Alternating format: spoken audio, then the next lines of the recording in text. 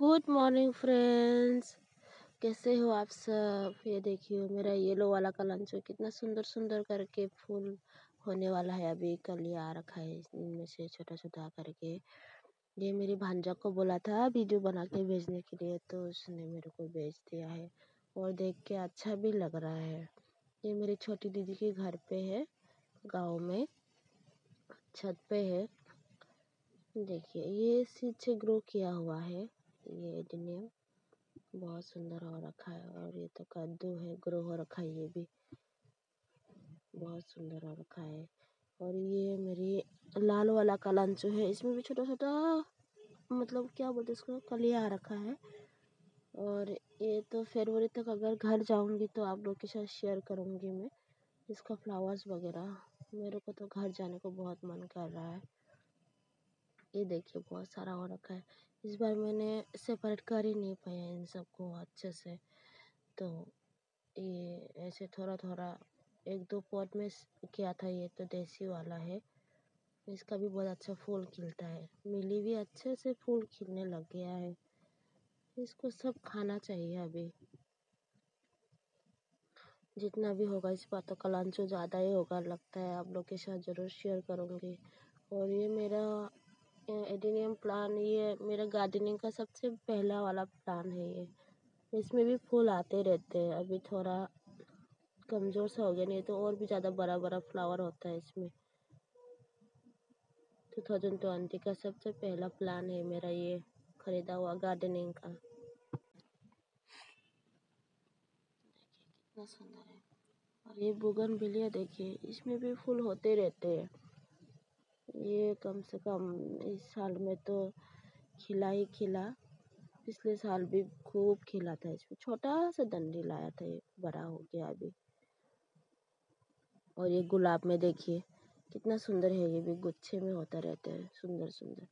और ये सब गुलाब है ना, जल्दी भी ख़राब नहीं होता है, फूल बहुत दिन तक रहता है। इस बार थोड़ा सा कलेक्शन करूँगी, ये पिछले साल का कलेक्शन किया हुआ है, आबरा का डाबरा वाला। ये सारा, ये जीजा जी की डिमांड से लिया हुआ था, उसको गुलाब बहुत पसंद है बोल के। सारे खिल रहे हैं सुंदर सुंदर करके। ये चाइनीज़ वाला है, पता नहीं क्या है ये भी। छोटा छोटा लेके गया था, सारा बड़ा बड़ा हो गया अभी तो। ज़्यादा कुछ खास तो नहीं डालते, दीदी ऑर्गेनिक ही डालते, ज़्यादातर ऐसे पत्ते, खाद वगैरह डालते हैं।